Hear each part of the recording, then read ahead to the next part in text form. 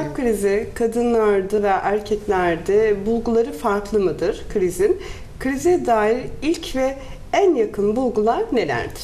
Kadınlarda ve erkeklerde kalp krizi bulgu, bulgular anlamında farklılık göstermez. Ee, ancak kalp krizi e, ortaya çıkma yaşı ve zamanı anlamında bir fark vardır. O da e, örneğin 45-50 yaşına kadar olan insanlarda e, 45-50 yaşına kadar erkeklerde kalp krizi daha fazla oranda görülmekteyken veya damar sertliğine bağlı kalp hastalıkları daha fazla görülmekteyken kadınlarda daha azdır. Bunun sebebi kadınlarda menopoz dönemine kadar olan süreçte salgılanmakta olan östrojen hormonudur. Östrojen hormonu damar koruyucudur. Ee, ve bu sebeple bu yaşa kadar e, 45 veya da e, menopoz dönemine kadar olan sürede biz kadınlarda kalp krizini daha az görüyoruz veya e, kalp damar sertliğini daha az görüyoruz.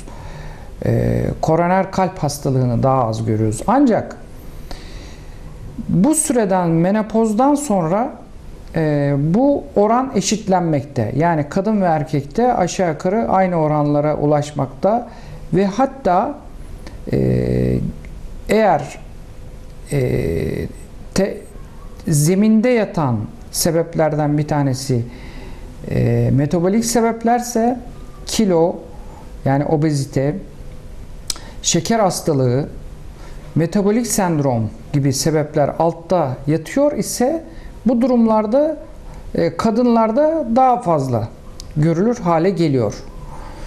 Belirtiler olarak, bulgular olarak ikisinin arası e, e, kadınlar ve erkeklerde bulgular da bir değişiklik yoktur. Yani farklılık göstermez. Göstermez. Şöyle ki e, koroner kalp hastalığının e, belirtileri en temel belirtisi bizim stable angina pectoris dediğimiz yani e,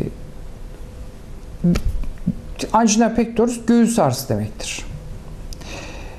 E, belirli durumlarda ortaya çıkan göğüs ağrısına e, anlamı taşır ki bu genellikle de eforla ortaya çıkar. Örneğin e, hasta diyor ki bize iki kat merdiven çıktığımda 500 metre yol yürüdüğümde göğsüme e, göğüs altında, göğüs üzerinde ağrı, baskı hissi, sıkıştırma hissi e, var. Bıçak gibi bir şey saplandı. Evet. E, çeneme vuruyor, sol koluma vuran ağrı var, sırtıma vuran ağrı var. E, ve bu ben dinlenince bu e, şikayetler geçiyor derse bu biraz tipiktir. Biz buna stable angina pectoris diyoruz. Bir de unstable angina pectoris dediğimiz e, bu tür efora, efordan bağımsız olarak ortaya çıkan örneğin istirahat halindeyken aniden gelen göğüs ağrısı herhangi bir efora bağlı olmaksızın ortaya gelen veya uykudayken göğüs ağrısıyla uyanma gibi durumlarda unstable angina pectoris dediğimiz durumlardır. Bunların her ikisi de koroner kalp hastalığına delalet ederler. Ee, bu tür şikayetler kadın ve erkekte fark etmiyor. Her ikisinde de olabilir. Ancak e, bazı e, olan e, dışı durumlar vardır ki bunlar da e, sıra dışı durumlar e, her koroner kalp hastalığında bu bulgular olmaz. Örneğin şeker hastalarında e, nöropati geliştiği için biz buna otonom nöropati diyoruz. Sinirler de tutulduğu için genellikle bu insanlar e, ağrı hissetmiyorlar. Göğüs ağrısı hissetmezler. Şeker hastaları, e, kontrolsüz şekeri olan insanlar. Bu durumda bu genellikle de e, erkek kadın oranı olarak baktığımızda kadınlarda daha fazladır.